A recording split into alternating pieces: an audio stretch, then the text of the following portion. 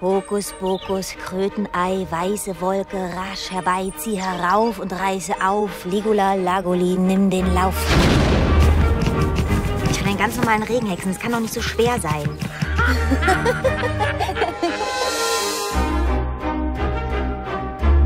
Sie haben dich schon wieder nicht auf den Blocksberg eingeladen.